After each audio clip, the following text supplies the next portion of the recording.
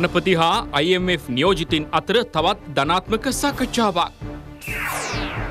විදෙස් ශ්‍රමිකින්ගේ මුදල් ආරක්ෂිතව මෙරටට එවීමේ තවත් ක්‍රමයක් එළිදකි. හොරුන්ට විරුද්ධව කොන්දේසි විරහිතව සටන ඉදිරියට එලියට ආපු රංචන් කියයි. හෙට සහ අනිද්දාත් පැය තුනක විදුලි කප්පාදුවක්. ආසියානු කුසලානයට සූදානම් වන ITN ෆුල් HD මැදිරිය. ඔබ විශ්වසනී පත් කාටත් කලින් රටට කියන ස්වාධිරුපායිනී රාත්‍රී දහය ප්‍රධාන ප්‍රතිකාශය සමගයි ආදාත් එකතු වෙන්නේ. ජනාධිපති රනිල් වික්‍රමසිංහ මහතා සහ ජාත්‍යන්තර මූල්‍ය අරමුදලේ නියෝජිතයන් සමග තවත් සාකච්ඡාවක් අද පැවැත්වුණා. මෙම සාකච්ඡා ධනාත්මකව පැවති බවයි ජනාධිපති මාධ්‍යංශය සඳහන් කළේ.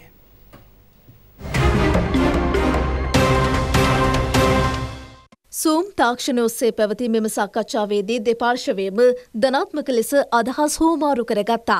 විදුලි පිළ සංශෝධනය සුරාපදු පනත ඇතුළු බාණ්ඩාකාරය ආශ්‍රයෙන් මෙම සාකච්ඡාව සඳහා අවශ්‍ය අතිරේක තොරතුරු ලබා දෙන ලෙසට ජාත්‍යන්තර මූල්‍ය අරමුදලේ නියෝජිතින් කළ ඉල්ලීමට අනුව එම තොරතුරු ලබන සඳුදා වන විට ලබාදීමට මෙහිදී එකඟත්වය පලවුණා.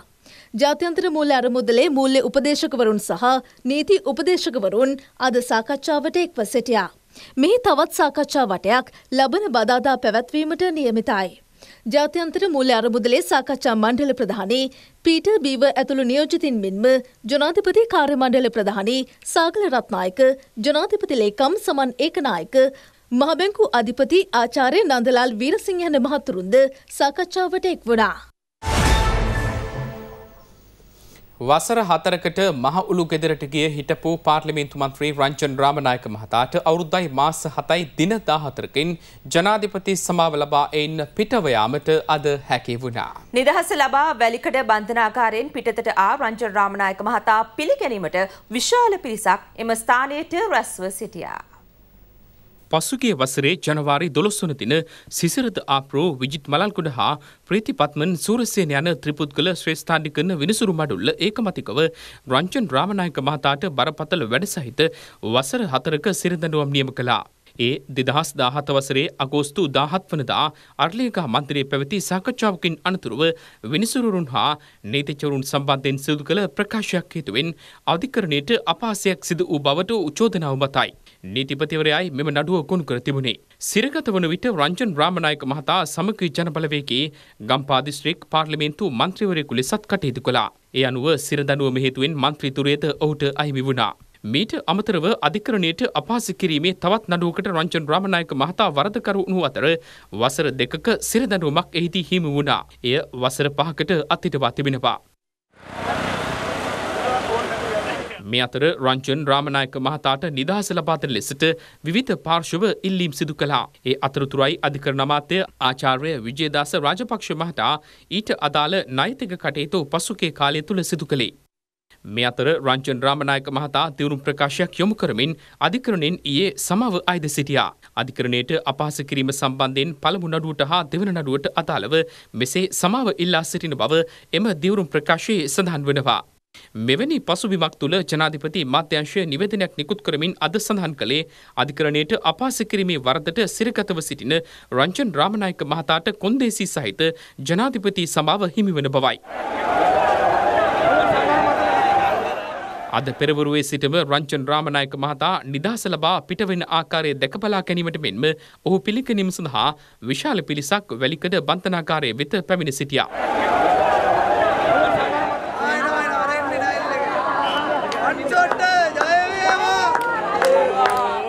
විපක්ෂ නායක සජිත් ප්‍රේමදාස මහතා මෙන්ම දේශපාලකින් නීතිචවරුන් කලාකරුන් ඇතුළු පිරිසක් ඔහු හමු වුණා. අනතුරුව පසරු දෙකයි හතලිස් පාට පමණ රංචන් රාමනායක මහතා බන්ධනාකාරයෙන් පිටතට පැමිණියා.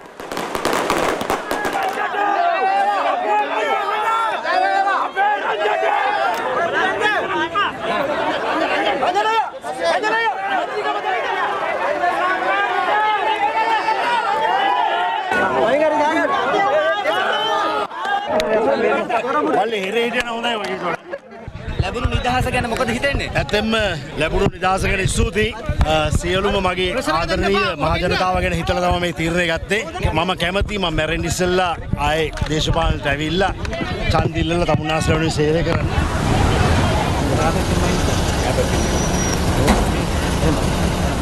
Thank you. මේ අතර නිදහස ලැබූ රංචන් රාමනායක මහතා අද පසරුවේ හුණුපිටිය ගංගාරාම විහාරස්ථානයේ වෙත පැමිණියා. ඒ විපක්ෂ නායක සජිත් ප්‍රේමදාස මහතා ඇතුළු සමගි ජනබලවේගේ මන්ත්‍රීවරුන් පිරිසක් සමගයි. එහිදී මහා සංඝරත්නය රංජන් රාමනායක මහතාට ආශිර්වාද පළ කළා.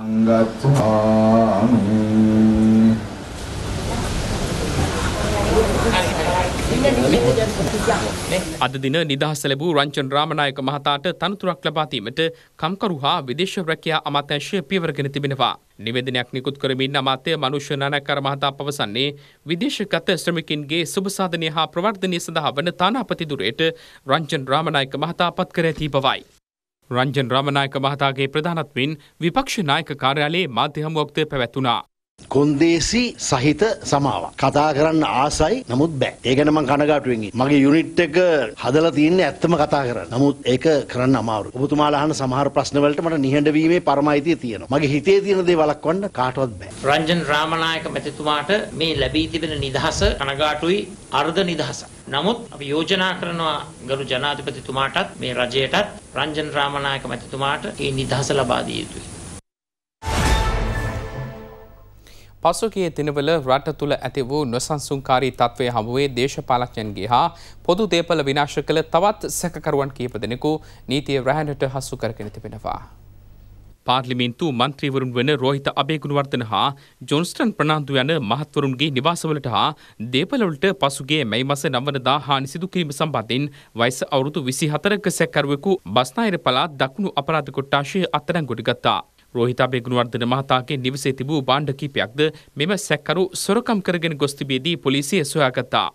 කොළඹ කොටුව ජනාධිපති මන්දිරයට පසුගේ ජූලි මස නම්වනතා ඇතුළු වී එහි දේපලවලට හානි සිදු කළ පුද්ගලයෙකු අත්අඩංගුවටගෙන තිබෙනවා. වයස අවුරුදු 34ක් වන මෙම සැකකරු දේපල රැසකට හානි සිදු කර තිබෙනවා.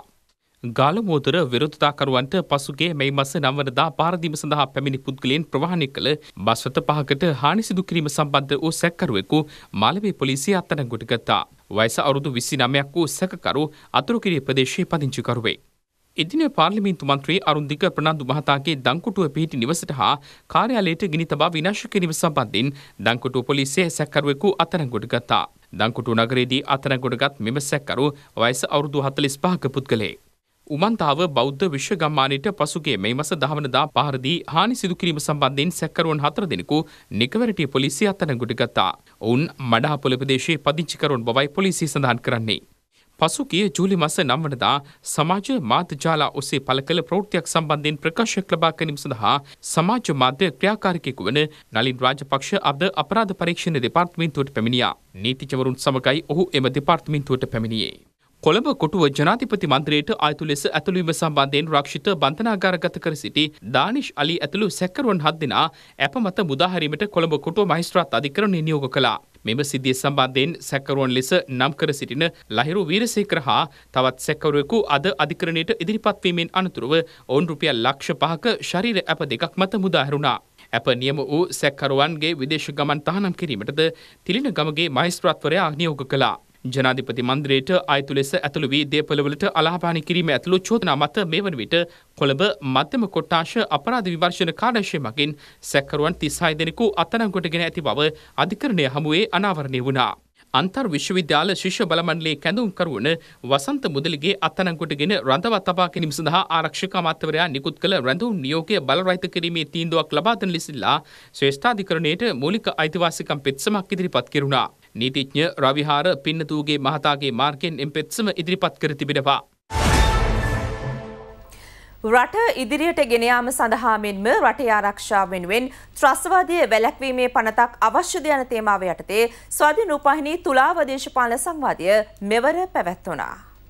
අන්තර්විශ්වවිද්‍යාල ශිෂ්‍ය බල මණ්ඩලයේ කැඳවුම්කරු වසන්ත මුදලිගේ මේ වන විටත් ඒ රැඳවුම් භාරයේ රඳවාගෙන තිබෙනවා ත්‍රස්තවාදයේ වැළැක්වීමේ පනත යටතේ ඔහු සහ තවත් දෙදෙනෙක්. මේ රටේ පවතින තත්ත්වයක් එක්ක රට ඉදිරියට ගෙනයෑමේදී රටේ ආරක්ෂාව උදෙසා ත්‍රස්තවාදය වැලැක්වීමේ පනතක් අවශ්‍යද කියන එක පිළිබඳව තමයි අපේ මූලිකම සාකච්ඡා වෙලා තියෙන. වසන්ත මුදලිගේ ගෝල්ෆෙස් භූමියේ තිබිච්ච අරගලේ මුල සිට අග වෙනකන් හිටපු අරගලකාරයෙක් ඔහු අන්තර් විශ්වවිද්‍යාල ශිෂ්‍ය බල මණ්ඩලයේ නායකයා සහ ඔහු ඒ අරගලේ මෙහෙවපු එක නායකයෙක් කියන එක ඒක සමාජයේම දන්න කාරණයක්. එතනින් එහාට ඒ අරගලයේ ඇතුලේ ඔහු විරෝධතාකරුවෙක් විදියට හැසිරෙනවා හැරෙන්නට ඔහු සම්බන්ධයෙන් අද වෙන විට අඩුතරමේ පොලිසියට මේක වගකීමක් තියෙනවා කෙනෙක් අත්අඩංගුවට රැඳවීම නියෝගයක් යටතේ අත්අඩංගුවට ගත්තයින් පස්සේ මොකද පුද්ගල නිදහස කියන එක සම්පූර්ණයෙන්ම හැකිලිලා යනවා පොලිසිය වගකීමක් තියෙනවා සමාජය දැනුවත් කරන්න මොකද්ද මේ මොහු කරලා තියෙන වරද රාජ්‍ය විරෝධී කුමන්ත්‍රණය මොකද්ද කොයි ආකාරයෙන්ද ඒක කරලා තියෙන්නේ ගෝඨාභය රාජපක්ෂ මහත්මයාගේ ඉල්ලාස් වීමට හේතු වෙච්ච ජූලි 9 වෙනිදා සිදුවීම ගත්තොත් මම කියන්නේ මේ වගේ අරගල ලෝකේ ඕනතරම් ඇති වෙලා තියෙනවා. ඒ අරගල එක්ක බැලුවා. අතිශය සාමකාමී අරගලයක් තමයි ජූලි 9 වෙනිදා ඇති වුණේ. කිසිදු සංවිධානයක නායකත්වයකින් තොරව ස්වේච්ඡාවෙන් තමයි මහජනයා ලක්ෂ ගාණින් කොළඹ නගරයට ආවේ. එතකොට ඒ වගේ සංවිධානයකවත් මෙහෙයවීමක් නැතුව ඊතරම් විශාල ජනතාවක් ඇවිල්ලා ඒ පෙන්වපු විනය මං හිතන්නේ එක්තරා විදිහක සුවිශේෂී විනයක්. ඒකෙදි වෙච්ච එකම අවාසනාවන්ත සිදුවීම තමයි ඔය රනිල් වික්‍රමසිංහ මහත්මයාගේ පෞද්ගලික නිවසට ගෙන තිබීම. එහෙනම් මං හිතන්නේ ওই දෙක අපි වෙන් කරගන්න ඕනේ. දැන් යම් යම් සුවිශේෂී අවස්ථාවන් වල ප්‍රචණ්ඩ ක්‍රියා සිදු වුණා කියලා අපිට කියන්න බෑ මාර්තු මාසයේ ඉඳලා ඇති වෙච්ච සමස්ත ඒ උද්ඝෝෂණ ක්‍රියාවලිය ත්‍රස්තවාදී ක්‍රියාවක් කියලා. ත්‍රස්තවාදය වැලැක්වීමේ පනත කියන එක කරලියට ආවේ මේ අත්තඩංගුවට ගැනීම් තුනක් හතරක් මද්දී. ඒක තමයි දැන් ගොඩාක් වෙලාවට රට තුළ මර්ධනයේ හස්තය දැන් දිගු කරලයි කියන එකට එක්තරා දේශපාලන පක්ෂ රාජ්‍ය නෝන සංවිධාන ඒගොල්ලෝ ඒ මතය ගෙනියනවා ඒකට හේතුව තමයි සුධර්මන් සැප්තැම්බර් මැද පටන්ගන්නවා ජිනීවා මානවහිමිකම් කවුන්සිලේ රැස්වීම. දැන් අලුත් චමත්කාරයක් පොපිය නො මේ වෙලා පිහිතනවනම් ජනතාවත් ඉතා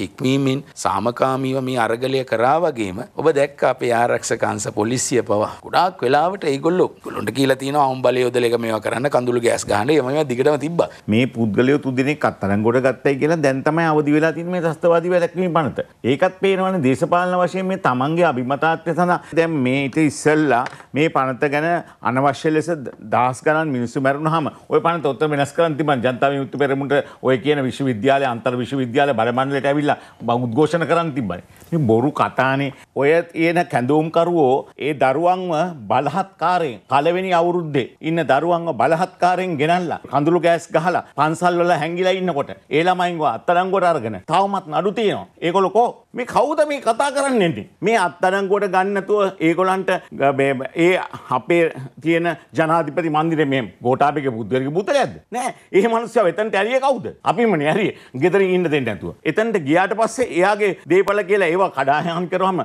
මේ සාමකාමී අරගලද? මොන කතන්දර කියනවා මන් දන්නේ. ඊට පස්සේ අගමැතිතුමා එතන ඇත්තෙත් නෑ. ඒකට කවුද යන්න කියලා තියෙන්නේ? ඒකට යන්න පුළුවන් සාමකාමී අරගලද? ගිහිල්ලා ඒක කඩාගෙන යන්න. අනේ අපිට බලන්න ඕනේ පොඩ්ඩක් ඉන්නවද නැද්ද කියලා එහෙම කමක් නෑ. ගිහිල්ලා කඩාගෙන ගිහිල්ලා ඒක දේපල නැති කරලා ඔක්කොම හානි කරලා ඊට පස්සේ අග්‍රාමාත්‍ය කාර්යාලයට ගිහිල්ලා කවුද ඒක කරන්න? ඔබතුමා දැක්ක නේද IMF එක එන දවසේ ගිහිල්ලා අපේ මුදල් අමාත්‍යාංශය ඉස්සරහා පිට ගිහිල්ලා ඒ අය අරගල කරලා බහලා දාලා තිබ්බා. එතකොට කියනවා අපි දැනගෙන හිටියේ නෑ. අන්න ඒක ඉගෙනුවේ නෑ. විශ්වවිද්‍යාලයේ ආචාර්යවරු මේක පස්සේ ඉන්නවා. ඒගොල්ලෝ නිකුත් කරන මේ මේ මේ වල අරගෙන බලන්න. ඒගොල්ලෝ තමයි මේගොල්ලන් පොළඹවන්නේ. ඉතින් පුද්ගලයෙකු අත්අඩංගුවට ගන්න නැතුව කොහොමද ප්‍රශ්න කරන්නේ? ඒක සාමාන්‍ය නීතිය. ඒක දඩබීමක් කිරීමක්, දඩයන් කිරීමක් නෙමෙයි. නීති අතර ගන්න බෑ. විශ්වවිද්‍යාලයේ ඒකාබද්ධ ශිෂ්‍ය පෙරපුණ කියලා ඒව කරන්න බෑ. කරන ක්‍රමය නීතියට අනුව කරන්න අපිත් ඔහුට ගෞරව කරනවා එතකොට. විදේශගත ශ්‍රමිකින්ගේ මුදල් නිත්‍යානුකූලව මෙරටට එවීම සඳහා ජංගම යෙදවුමක් හඳුනාදී තිබෙනවා. ලංකා රෙමිට් යනුවෙන් නම් කර ඇති මෙම ජංගමයදවම හඳුන්වාදීම ශ්‍රී ලංකා විදේශ සේවා නියෝක්තිකාරංශය හා මහබැංකු එක්වයි සිදු කළේ.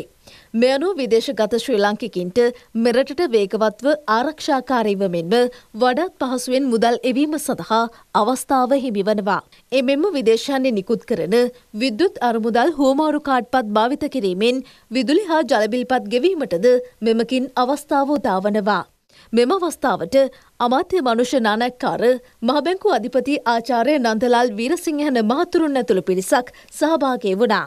ඕනම රටක ගෙවීම් පීම සම්බන්ධයෙන් නවීන තාක්ෂණය පාවිච්චි කිරීමෙන් තමයි මේක කාර්යක්ෂමතාවය වැඩි කරන්න පුළුවන් වෙන්නේ. ඒතර අපිත් මහ බැංකුව පැත්තෙන් ගෙවීම් පියවීම ඒ තවදුරටත් වර්ධනය කිරීම සහ පහසු කිරීම කාර්යක්ෂම කිරීම සඳහා තාක්ෂණය පාවිච්චි කිරීමට අපි හැමතිස්සෙම දිරදිරින් කරනවා. නමුත් මේ විදේශ ක්‍රේෂණ සම්බන්ධයෙන් කටයුතු කරනකොට අපි දැකපු දෙයක් තමයි බැංකු පද්ධතියක් කරහා කරන ගණදුරවල ට්‍රාන්සැක්ෂන් කොස්ට් එක කියන එක යම්කිසි ආකාරයක සාපේක්ෂව වැඩි. ඒ නිසාම ලෝකේ පුරාම බිහි වෙලා තියෙනවා ඊට වැඩිය අඩු පිරිවැයකට රටවල් හරහා ගණදුණු කිරීමට අමතරව රටවල් තුල ගණදුණු කිරීමටත් ක්‍රමවේද තාක්ෂණය හරහා නිර්මාණය වෙලා තියෙනවා. ඒ තුලින් නම් බලාපොරොත්තු වෙන්නේ බැංකු පද්ධති හරහා මෙන්ම මේ වගේ තාක්ෂණය යොදා ගන්න උපකරණ සංවර්ධනය කිරීම තුලින් ජනතාවට විශේෂයෙන් පිටරටින් මෙයාට මුදල් වෙනකොට යන වියදම අඩු කර ගැනීම එක. දෙවැනි එක ඒ මුදල් එවීමේදී තියෙන පහසුව.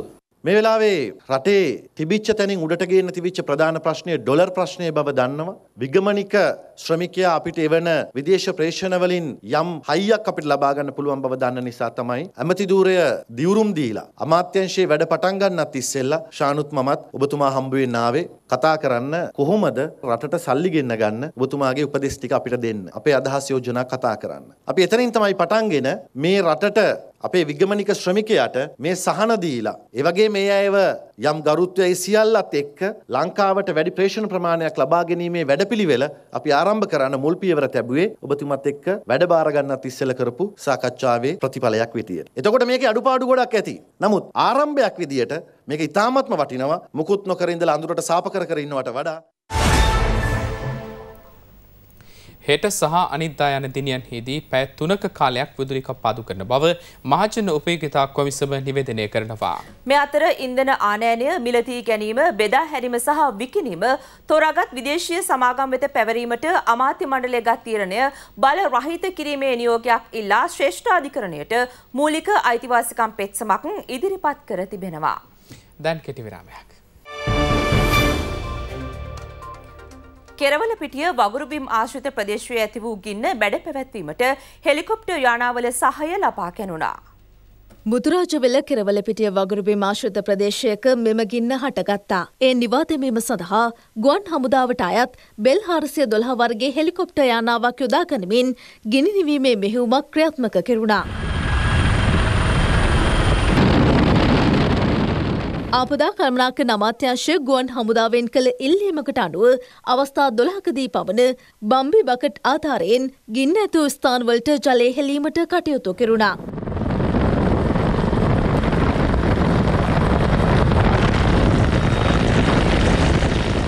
ද්‍රෝණ යානා යොදා ගනිමින් ගින්න පිළිබඳ නිරීක්ෂණ කටයුතු සිදු කිරීමටයි ගුවන් හමුදාව ක්‍රියා කළේ. ක්‍රිකට් තරඟාවලිය හෙට ඩුබාහිදී ආරම්භ වනවා. තරඟාවලිය තොරතුරු ඔබට කියන්නට චරිත ධනංචය සූදානමින් සිටිනවා. ඒ අපගේ HD මැදිරියේ සිට. චරිත මදනිකා මේ සම්බන්ධ වෙන්නේ ITN ෆුල් HD මැදරේ සිට දෙදස් විසි දෙක ආසියානු කුසලානය සඳහා සියල්ල සූදානමින් තිබෙන මොහොතක එහි සචීවී අත්දැකීම ස්වාතින් රූපහනි මාධ්‍යචාලයේ වසන්තම් TV ඔස්සේ ඔබ වෙත ගෙනෙන්නට සියලු කටයුතු මෙවැනි විට සූදානම් කරමින් පවතිනවා. විශේෂින්ම සඳහන් කරන්නට අවශ්‍යයි හෙට සිට ලබන එකොළොස් වනදා දක්වා ඒ වැලි කතරේ ක්‍රිකට් සටනේ උණුසුම් තතු වෙත්ති වසන්තම් ඔස්සේ ඔබ වෙත ගෙරෙන්නට අපි නිරන්තරයෙන් සූදානමින් සිටින බව සඳහන් කරන්නට අවශ්‍යයි.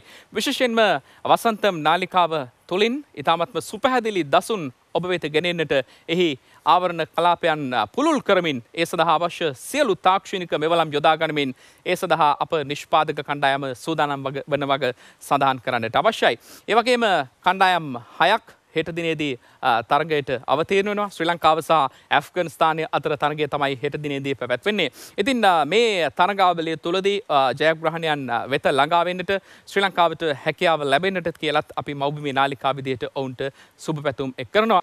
ඒවගේම වඳනිකා වර්චුවල් රියලිටි අත්දැකීමක් ශ්‍රී ලංකා ප්‍රේක්ෂකින්ට ලබා දෙන සුවිශේෂ අවස්ථාවක් විදියට මේ සඳහන් කරන්නට පුළුවන්. මෙරට නාලිකාවක ඒ එවන් තාක්ෂණයක් යොදා ගනිමින් ඒ රියලිටි අත්දැකීමක් වර්චුවල් රියලිටි අත්දැකීමක් ඔබ වෙත ලබා දෙන්නේ පළමු වතාවටයි කියන කාරණයක් අපි බොහොම ආඩම්බරයෙන් ඔබ වෙත සිහිපත් කරනවා. ඉතින් හෙට සිට ලබන 11 වෙනිදා දක්වා මේ සියලු තරඟ තතු විත්ති ඔබ වෙත ගෙනීමට අපි සූදානමින් ඉන්නවා. මේ සඳහා අපිට අනුග්‍රහක දායකත්වය ලබා දෙනවා ඩයලොග් ආසියාට. හැමදාම වගේ ඔවුන්ගේ ශක්තියත් අපි මේ මොහොතේදී මතක් කරනවා. ඉතින් ප්‍රේක්ෂක ඔබට අපි ආරාධනය කරනවා හෙට පස්වරු 6 සිට මේ වසන්තම් නාලිකාව සමගින් රැඳී සිටින කියලා. ඒ රැඳී සිටියොතින් ඔබට හැකියාව ලැබෙනවා. ආසියානු කුසලානේ සියලු තතුවිත්ති සියලු උණුසුම් තොරතුරු ඔබ වෙත ගෙනෙන්නට. ඒ නිසා අපි යලිත් ආරාධනය කරනවා අපිත් සමග රැඳී සිටින ලෙසට.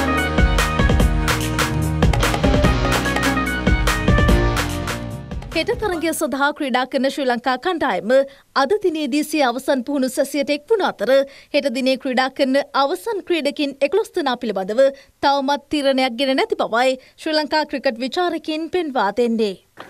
ශ්‍රී ලංකා කණ්ඩායමේ පන්දුට පහර දීමේ පෙළගැස්ම කොයි ආකාරයෙන් වේද කවුද ආරම්භක පිටිකරුවන් කවුද අංක එක? මම හිතන කුසල් සහ බාටුක සමහරක් වෙලාට මම හිතන්නේ. පැතු නිස්සංක සහ ධනුෂ්ක ගුණතිලක ඉන්නවා. කණ්ඩායම උන් තමයි පසුගිය කාලේ පුරාටම ආරම්භ පිටිකරුවන් ලෙස ශ්‍රී ලංකාවෙන් සාර්ථක වුණේ.